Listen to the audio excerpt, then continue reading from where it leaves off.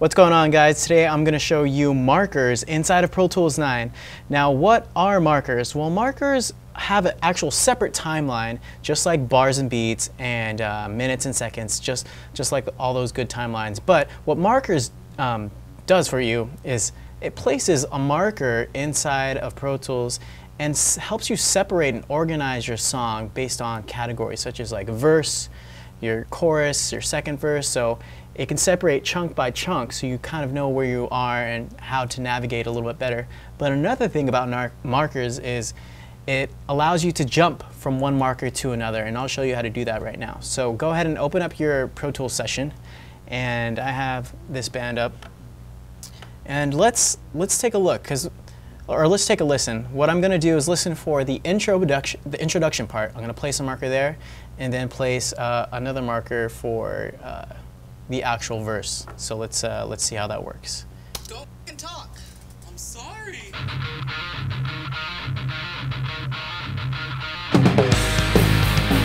Okay.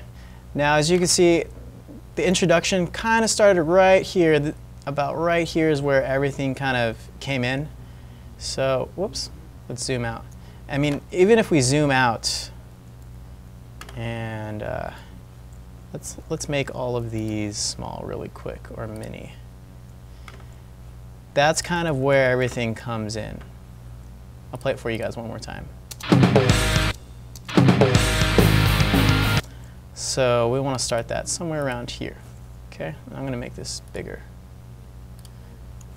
That's actually too big. Okay, that's good. So first we want to rewind it all the way back. You can rewind your time marker all the way back by simply hitting return and that rewinds the, the play marker all the way to the, the, front or you can just simply click and drag on, to, on the uh, play marker. So we want the very beginning of the song to have a marker. So making a marker is really easy. All you have to do is hit enter on your uh, keyboard but not the return key, the enter key right next to the, uh, the numeric pad. So all the way on the right hand side of your keyboard. So hit that. That's one way of bringing up a, a new memory. Another way is simply obviously place the play marker wherever you want the new marker to be and then simply go to the left top hand corner right here. See, see where it says meter? This is your timeline. So simply just uh, click on the plus guy and that's going to bring up that, that window. Oh, I'm sorry, meter. Did I say meter? Marker. M's. Uh, dyslexic. Anyway, um, Markers. Go ahead and hit plus sign on markers, and that's going to bring up this window again. So let's simply name our new marker and just name it intro. And that's good enough for me. Let's go ahead and hit OK. And as you can see, introduction is placed. We could actually move and adjust this um, if we wanted to afterwards, so it's not set in stone. You can place it wherever you want. But as you can see, the, the timeline is now, this uh, marker timeline is now changed to a blue. And you're going to see why, why it does that, because it organizes every chunk. So if we wanted to place that, uh, or the verse part now, so the verse hits right about here where these crashes are. Uh, so let's go ahead and just click, whoops, where did I go? Okay, click right here for the, the play marker and simply, again, hit enter or if you want to go to the top left. You can, but I'm just going to hit enter, and then I'm going to put verse, zoom in for you guys, verse 1, and then simply hit OK. Okay, now, now we have verse 1. Now as you can see, it separates in color, so it's uh, color coordinates for you as well, so you can kind of differentiate where you are. Now, I'm not going to locate the chorus exactly, just but just to give you another example, let's uh, let's click this guy over here and add one more marker and simply hit enter.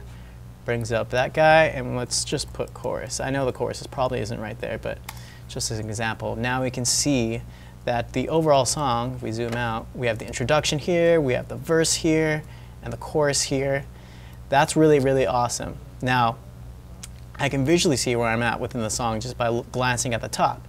Now one another cool thing is this window right here, which I'm going to bring up, if you hold Apple or Command, same button, and then hit 5 on the numeric pad all the way on the right, that's going to bring up this window right here, memory locations. Now this keeps track of all of your markers. So every single marker you make, it's going to be in the memory locations. Now, just in case, uh, let's just say your, your 5, number 5 isn't working on your key, um, on your keyboard, you can always go to the top window and go down to memory locations. And this, the Windows always has like a bunch of other windows as well, just as like a quick tip. But right here we can access the memory location as well. Okay, but mainly what I wanted to focus on on the memory locations, I can actually click on one of these guys and it will instantly put the play marker right where that is. So if I wanted to get to verse 1, there we go. Did you see that? Pay attention to this, this guy right here. These two markers are where the actual play marker is. So. Okay, see? I'm on verse 1. Let's say, you know what? I want to jump to the introduction. Simply click on that guy, and then there we go. So, there's the introduction. Sorry. If I wanted to jump to the chorus, it's really, really that easy and simple. So adding markers to your uh, song, you definitely want to do that because it keeps you organized as well as you can just jump really, really quickly um, from one spot to another inside of your song. I use them all the time. I try and break up every single part, whether it's uh, whether it's the introduction, the verse, the pre-chorus, the chorus, the bridge, second verse. Just I really like to break out, break down my song as much as possible and use the memory locations to, just to jump around and uh, really see my song visually. So there you guys go. If you do have any other questions about Pro Tools 9, hit me up. Shoot me an email at request@mahalo.com, and as well as rate, comment, and subscribe. Thank you guys for watching.